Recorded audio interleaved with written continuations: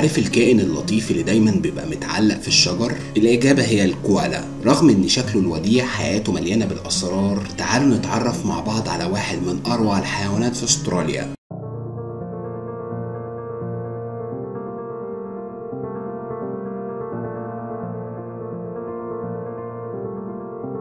الكوالا هو حيوان جرابي بيعيش في استراليا وبيكون دايما متعلق بالأشجار. الناس بيسموه دب الكوالا لكن هو مش من الدببة ده حيوان جرابي زي الكنغر. الكوالا دايما بيتعرف بسهولة بسبب حجمه الصغير وودنه الدائرية وأنفه الكبير. الكوالا بيتواجد بشكل رئيسي في غابات الأوكاليبتس في أستراليا. الشجر ده مش بس بيكون مكان سكنه ده كمان مصدر غذائه الأساسي. الكوالا بيعيش في الأشجار معظم أوقاته وبيتنقل ما بينها بحثا عن الأوراق الطرية اللي بيحبها رغم إن أوراق الأوكاليبتس السامة بالنسبة لمعظم الحيوانات الا إن الكوالا عنده جهاز هضمي خاص يقدر يهضمها من غير مشاكل. بياكل حوالي كيلو جرام من الأوراق في اليوم وبيعتبره مصدر الوحيد تقريبا للطاقة والمية. الكوالا معروف بإنه كائن كسول بيقضي حوالي 18 ل 22 ساعة يوميا نايم على الشجر وده عشان الأوراق اللي بياكلها قليلة الطاقة فهو محتاج يحافظ على طاقته للنوم والراحة. الكوالا من الحيوانات الجرابية يعني الامهات بتولد الصغار غير مكتملين النمو وبيفضلوا في جيب الأم لمدة ست شهور لغاية ما يكبروا. بعد كده بيبدأوا يستكشفوا العالم بس لسه بيكونوا متعلقين بالأم. الكوالا بيواجه تهديدات كتيرة زي فقدان الموطن بسبب قطع الأشجار والتغيرات المناخية. بالإضافة لحرائق الغابات اللي دمرت كتير من موطنه الطبيعي في السنوات الأخيرة. لو عجبك الفيديو عن الكوالا وحياته اللطيفة ما تنساش تدعمنا ب like وتشترك في القناة عشان يوصلك كل جديد.